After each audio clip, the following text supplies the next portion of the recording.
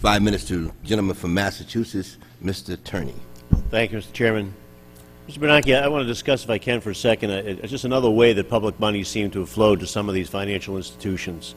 Uh, back in March of 2009, AIG uh, disclosed the, uh, the name of certain of the counterparties, people that they had credit default swap agreements with, and uh, Bank of America was among them as, as well as others. It, it appears from our records here that, that there were losses in the so-called super senior multi-sector credit default swaps, the portfolio that AIG had, uh, and that it created a liquidity problem. They had obligations that if there were problems in that portfolio, they had to put more cash in or more collateral security for their obligation. The Federal Reserve Board of New York then provided $85 billion in a loan to AIG.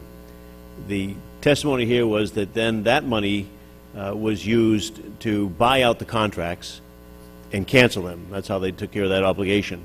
What was of concern to, to me and some others was that the counterparties appeared to have received 100 percent of that, even though uh, testimony from people at AIG before this committee said that they thought uh, that there were a lot of contentious reasons to think that they did not owe 100% if they owed anything at all uh, on those particular obligations, that there have been serious negotiations uh, about whether they should pay anything to these counterparties, and then if they should pay something, how much uh, less than 100% they should pay. When we pressed Mr. Liddy, AIG, for background on that, for just how the negotiations went, why it is they paid 100%, his comment was that he was the wrong person to talk to, that in fact the Fed uh, had all of those uh, documents and paperwork because they in fact struck the deal. Uh, so my question to you is, uh, why was 100% paid on these various obligations, including the one to Bank of America, and uh, and what was the rationale there? Why weren't the interests of the the public money uh, interests protected so that there was a better negotiation than just forking over 100%? So I don't see on what basis that less than 100% could have been paid. They were contractual obligations. Um, failure to pay them would have allowed the creditors to force bankruptcy, which is exactly what we were trying to avoid.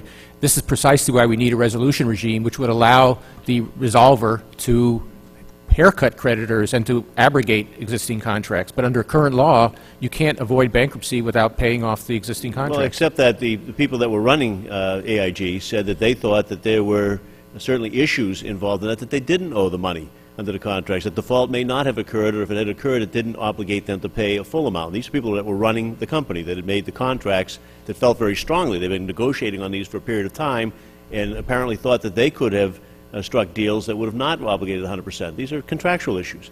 Uh, so, you know, it could have been done, and yet once they turned that matter over to the Fed, the Fed, uh, in their uh, inferences were, they just rolled over and, and gave 100% to uh, Bank of America, Citibank, other people, and it looks to others from the outside that we were trying to make those people healthy, uh, unquestionably, by taking public money and putting in their coffers by folding on that deal.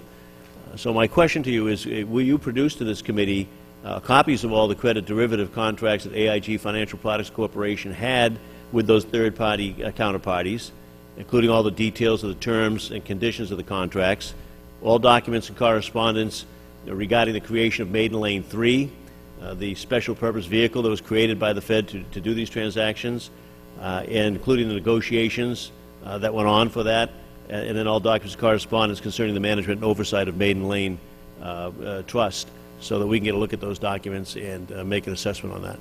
I think we've just, um, in our recent release, I think we just released a whole set of documents related to those issues. But if you To have whom? specific, specific, we just created a monthly publication that provides a lot of information about the maiden lanes, for example. Um, If you would send us a letter with specific requests, we'll, we'll, we'll see what, uh, what's available. We certainly will. Uh, well, you say you see what's available. I mean, uh, we want everything that's available, and the question to you is, when we make that request, will you provide it? If, it, um, if I'm able to do so, I will. Thank you. Yield back, Mr. Chairman. Very much. Um, I now yield